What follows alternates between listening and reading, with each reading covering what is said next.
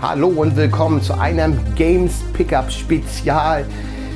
Ja, ich habe mich irgendwo vermehrt in Promos verliebt von Computerspielen und ich zeige euch jetzt hier eine ganze Menge, die ich neu habe für die Xbox 360. Aber erstmal ein kleines Intro.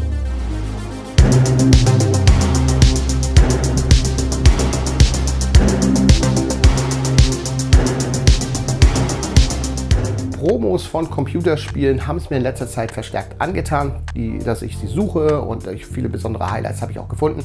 Ich werde euch auch noch zukünftig eine Menge Highlights zeigen. Ich werde das in verschiedenen Videos packen. Ich habe jetzt hier einen ganzen Karton voll mit neuen Spielen für die Xbox 360 Promos, ähm, die ich mir äh, ja, von einem Kollegen abgekauft habe, die er nicht mehr brauchte.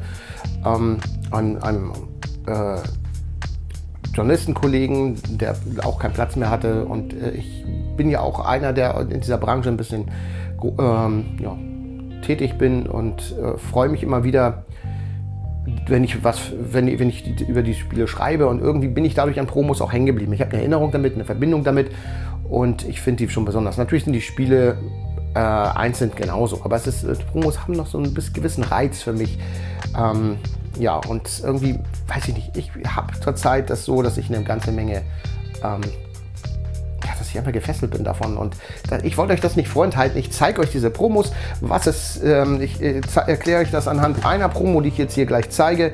Einfach mal, ähm, was es bedeutet, eine Promo zu haben.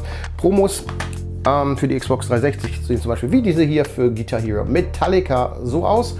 Steht oftmals dann nur für Werbezwecke, nicht zum Weiterverkauf bestimmt. Ähm, diese werden in der Regel für Journalisten und auch für Geschäfte freigegeben, die halt verkaufen. Da werden die öfter mal dann als, ja, als Anreiz, als Vorführobjekt äh, dann äh, ja, zugeschickt. Für Journalisten natürlich zur Rezension. Das sind jetzt hier die normalen Promos, die sind oftmals produziert noch kurz bevor das in die fertige Produktion geht. Ähm, ja, was kann ich noch dazu sagen? Äh, unterscheiden sich nicht immer ähm, vom späteren Release, das muss man auch dazu sagen. Also inhaltlich sind die zu 99% identisch. Ich habe es schon gehabt bei einem Spiel, ich ähm, es kann sogar sein, dass das hier auch noch mal zwischen ist. Es, es, es, sind auch einige doppelt dabei. Es werden aber auch nicht alle in meiner Sammlung, ähm, werden nicht alle in meiner Sammlung bleiben, sagen wir es mal so rum. Ähm, aber es sind halt ein paar Sachen dazwischen. Und ähm, ja, die werde ich äh, auf jeden Fall in meiner Sammlung behalten. Und äh, ja, wie gesagt, und äh, mich reizt eben halt das besondere Thema und äh, ich bin jetzt davon abgekommen. Es gibt Spiele eben halt, wo noch nicht ähm, alles unbedingt drauf ist. Ich habe es jetzt gehabt bei einem Spiel, ich glaube, das ist jetzt hier bei, ich kann es euch, gucke jetzt mal, jetzt greife ich so ein bisschen vor, ich glaube, das ist hier, ja genau, und zwar hier. Ähm, ich weiß jetzt nicht mehr genau, ob es das war oder ob ich die PlayStation 3 Version als Promo bekommen habe vorab. Äh, das ist Hitman Absolution. Ähm, hier steht jetzt auch for promotional copy, not for resale. Das steht hier wirklich unten. Ist die Fassung ab 18, das ist auch komplett das Spiel. Ich bin mir aber nicht sicher, ob hier schon die deutsche Synchronisation drauf war. Das kann manchmal sein, dass eine deutsche Lokalisierung nur im Textbereich äh, ist und noch nicht im Ton. Kann auch vorkommen, weil, wie gesagt, die werden vorab eben halt oftmals rausgebracht. Ähm, eben halt, wie gesagt, dieses Metallica. Ähm, habe ich jetzt als erstes gezeigt. Hier ist es jetzt Deutsch drauf geschrieben. Hier seht ihr, es ist Englisch für Promotion only. Und wir können mal sehen, was wir hier an Unterschiede sehen. USK ist meistens schon vergeben. Und wie sehen die von innen aus? So, da. Die CD ist manchmal nicht bedruckt und hier steht aber auf jeden Fall immer Promotional Disc, not for resale. Zu 99% sind die weiß. Die äh, Discs können aber auch noch silber sein. Ganz selten sind sie bedruckt. Aber meistens es steht fast immer Promo drauf. Ähm, ja, manche sind eben halt noch nicht USK geprüft, gibt es leider auch, oder PEGI-Versionen. Somit sind die teilweise wirklich uncut. Gut, bei Metallica, Guitar Hero wird da jetzt kein Unterschied sein. Ähm, Handbücher sind selten dabei. Also wirklich inliegend sehr selten. Ähm, ich meine, ich habe noch keins gehabt, was wirklich offiziell inliegend war, wenn es ziert ist, denn die kommen oftmals verschweißt an. Also sind wirklich komplett Banderole, so wie man es kennt von den Xbox und verschweißt, so werden die auch in der Presse verteilt. Ähm, manchmal ist ein Flyer drin, der die Controls erklärt. Pressemäßig wird manchmal das Handbuch, wenn es schon existiert, beigelegt. Das wird dann zusätzlich mitgeschickt. Habe ich auch schon gehabt. Ja, also wie gesagt, ich habe jetzt hier neu bekommen Metallica ähm, Guitar Hero. Das ist jetzt meiner Sammlung. Was ich davon behalte, weiß ich noch nicht. Das, es kann auch sein, dass ich ein, zwei schon mal in meiner Sammlung hatte. Ich habe jetzt ein ganzes Bundle erworben ähm, zu einem sehr guten Kurs. Über den Preis rede ich nicht. Ähm, das, das habe ich versprochen. So, und ich, das nächste war Hitman Absolution. Auch hier seht ihr, und hier könnt ihr genau sehen, hier ist ein Flyer drin. Und kann ich euch, äh, ich will nicht den Code, aber hier seht ihr dann eben halt den Flyer, der war auch drin. So hatte man dieses Vorabspiel hier, glaube ich, mit dem Scharfschützen war auch schon drin. Beziehungsweise das ist der Contracts Passcode. Und ihr seht ja hier eben halt auch wieder weiße Disk. Ja. Ja, echt cool. Ähm, ja, so, weiter geht's. Ich zeige einfach mal auch gleich Highlights. Hier, Biane, komm mal Das Spiel von Capcom, wie gesagt, auch hier ganz normal. Deswegen werde ich auch nicht jedes Spiel jetzt öffnen.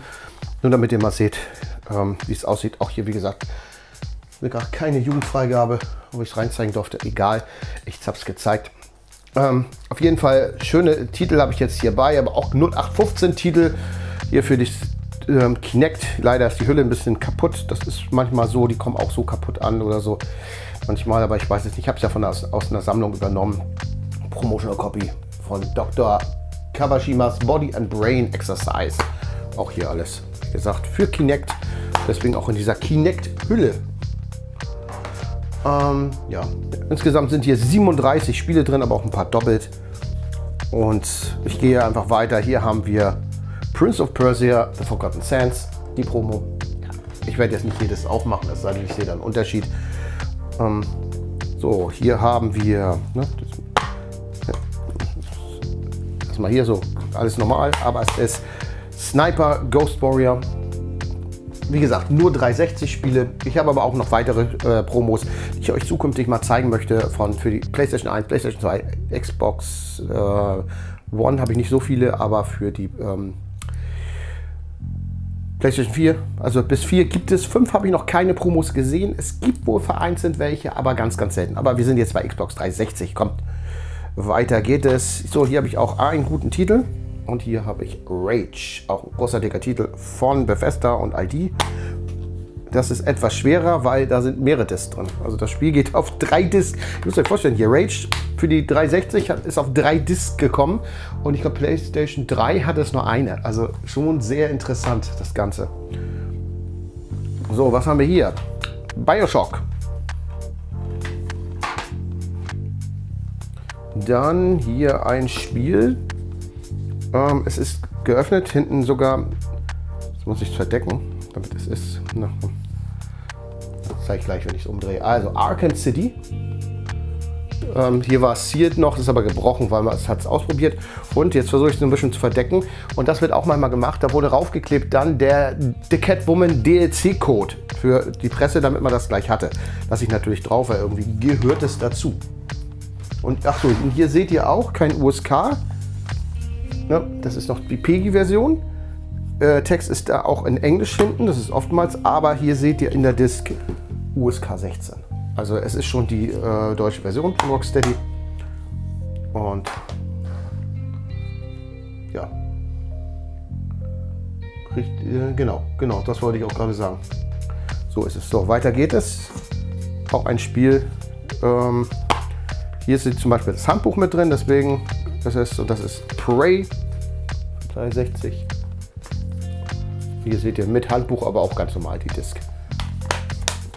Lag wo einzeln bei, weil er es getestet hat, ähm, ist dann das mit reingepackt. Hier war noch ein Aufkleber Xbox Live drauf, der ist abgekratzt worden. Vielleicht ist die Hülle auch mal ausgetauscht worden, das kann ich euch nicht sagen, das wusste der Betreffende auch nicht mehr.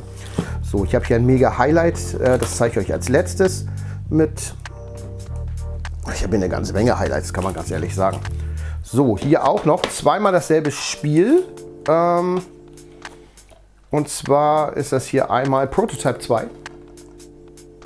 Das ist sogar noch äh, sealed. Beides Prototypes sind sealed.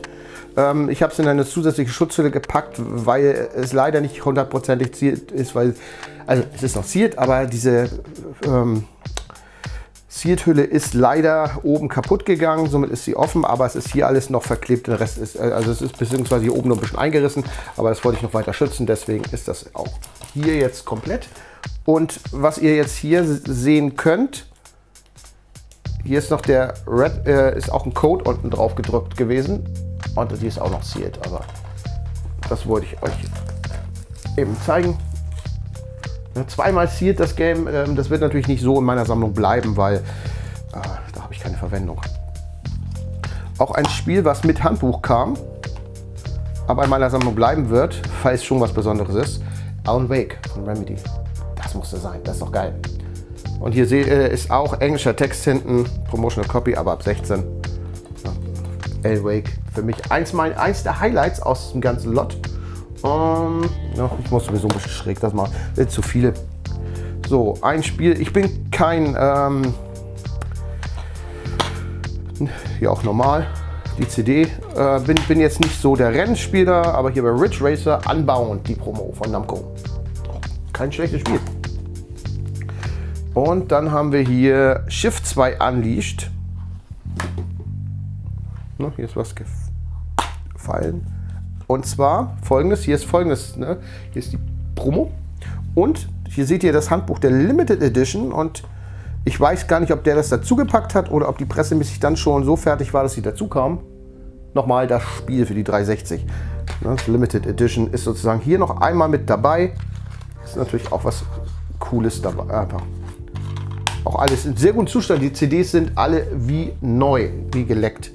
Kann man ja fast so sagen. Das packe ich mal hier hin. Kann es ja nicht auf die 18 dann so sehr lassen. So, kommen wir weiter. Und hier, ach, hier habe ich noch Sealed, da habe ich noch keine Schutzhülle rumgepackt, das muss ich aber noch. Hier haben wir Arkham Origin für die 360. Komplett Sealed, ihr seht, komplett verschweißt. Richtig kultig natürlich mega. Gut, das muss wie gesagt noch ähm, wieder verpackt werden. Und ein Spiel, ich zeige es euch vorab. Ja, das habe ich doppelt auch dabei. Und zwar habe ich hier einmal komplett zielt, deswegen Schutzhülle. Need for Speed Carbon, komplett zielt. Und hier ist noch einmal anzielt dabei. Ich weiß nicht, warum es doppelt, aber egal. Er sagte mir auch, dass ein paar doppelt und ihr seht hier auch ganz normal die Disc drin. Ist cool. Irgendein Racer hatte ich, jetzt muss ich mal gucken. Da war eine bedruckte CD drin. Jetzt weiß ich, will ich natürlich gucken, dass ich euch das auch zeige, weil das gab es auch mal. Ich weiß nicht mehr gerade welcher Racer und ich greife natürlich jetzt voraus. Es sind noch einige Racer dazwischen. So, hier habe ich Dirt 3. Ne? Hier ist nur der Pass und mit Code, deswegen habe ich zugedeckt und die Codemasters Promo. Hm, hm, hm, richtig schöne Sachen dabei. Irgendwo war noch ein Rennen. Dirt, wo Dirt 3 ist, darf Dirt 2 nicht fehlen. Auch die schöne Promo. Ja, und hier ist es, genau. Da ist es auch, das ist die bedruckte Promo. Ihr seht aber, da unten steht es Promo. Sowas ist, kommt sehr selten vor, dass eine Promo schon bedruckt ist. Komplett mit Farbe. Aber auch cool. Ich werde aber wahrscheinlich die meisten Rennspiele abgeben, beziehungsweise wie gesagt, einige habe ich schon in der Sammlung gehabt. So, es fängt an irgendwann mit richtig coolen Sachen. Hier ist es auch cool, aber leider ist die Hülle smashed. Passt natürlich zu Sonic All-Star Racing with Banjo Kazooie. Auch hier nur die Disc, aber eben halt Sonic All-Star Racer, Sonic und All-Star Racing, ja. Richtig cool und schönes Spiel. Ähm, manchmal weiß ich gar nicht, wo ich zugreife.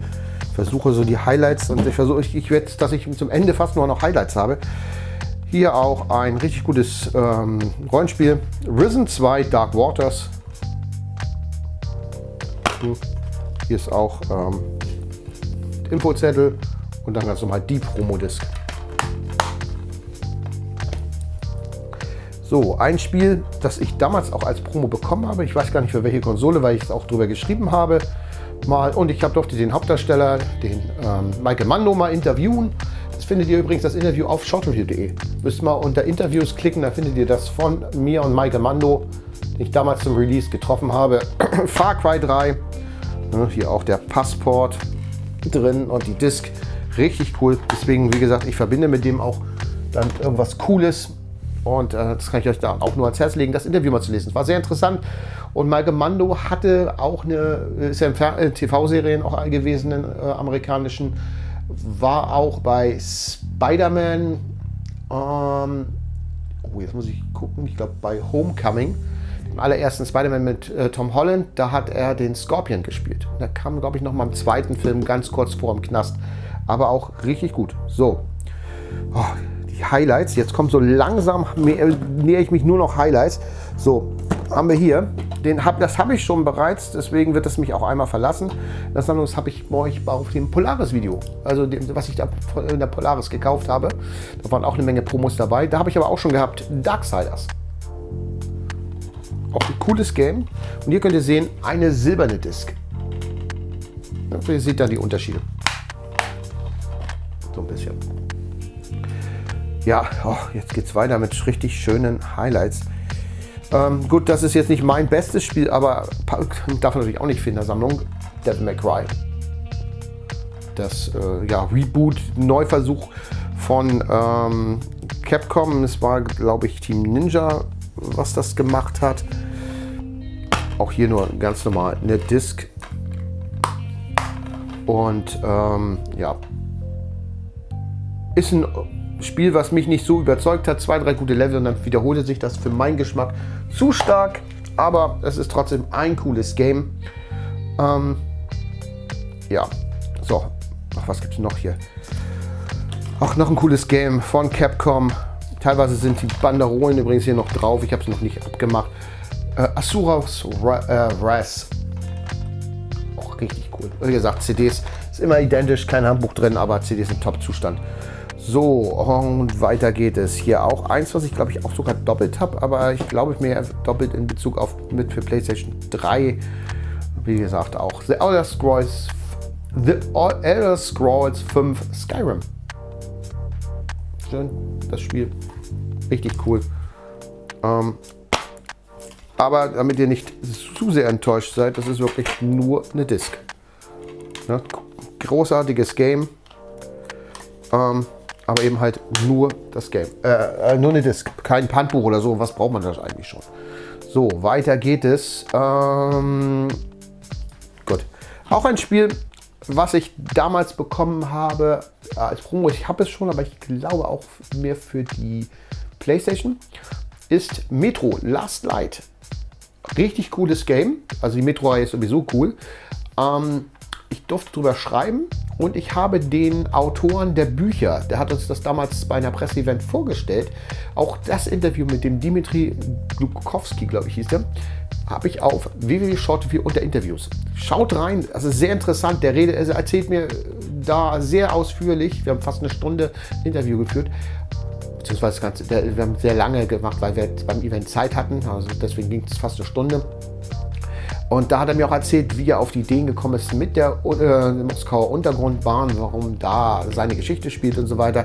Und über die Realität, wie es dort aussieht. Richtig interessant. Also ich lege euch das Interview ans Herz. Hört mal rein oder schaut mal rein, besser gesagt. Nee, lest mal rein. So rum muss ich sagen. so, weiter geht's. Das sind jetzt wirklich hier Hochkaräter, die immer mehr kommen. Ein Spiel auch, ja, hat auch seine Geschichte Red Faction Guerilla. Auch richtig cool. Richtig cool. Ähm, ich werde am Ende übrigens keinen äh, Overblick machen von dem Ganzen. Das mache ich bei Promos nicht. Ähm, wenn ich einmal ein Spiel mal mehr erzählen soll, in die Kommentare, dann werde ich dann noch vielleicht noch mal ein bisschen was hervorheben zu. Müsst mir dann nur den Info geben, welches. So, weiter geht's. Ähm, ja, machen wir hier noch ein Rollenspielklassiker, sogar ein bisschen ungewöhnliches Teil, aber auch von Namco und richtig cool. Das in der Sammlung zu haben, ist auch nicht schlecht. Eternal Sonata. Richtig schöner Klassiker. Auch hier, wie gesagt, selbst Rollenspiele haben nur die reine Disc. So. Auch hier ein Klassiker und hier ist, glaube ich, sogar, das Ding ist nicht ziert, aber ist das Handbuch bei. Ähm, auch sonst nur Disc. Und zwar, ihr seht es hier jetzt, Fable 2. Auch ein, eine schöne Promo. Hier könnt ihr sehen. Richtig coole Promo. Ähm, ja, jetzt geht es immer weiter in die richtigen eingemachten Sachen. Ähm, wie gesagt, 37 Spiele waren es. Dead or Alive 5 habe ich hier. Musste sein, Dead Alive, coole Serie. Richtig genial. So, jetzt kommt hier ein Highlight und das müsste sogar Uncut sein, weil es die Piggy-Version ist. Es hat noch keine USK. Kann man hier drin sehen. Ist keine USK drauf. Und zwar The Darkness 2. Auch richtig geiles Game.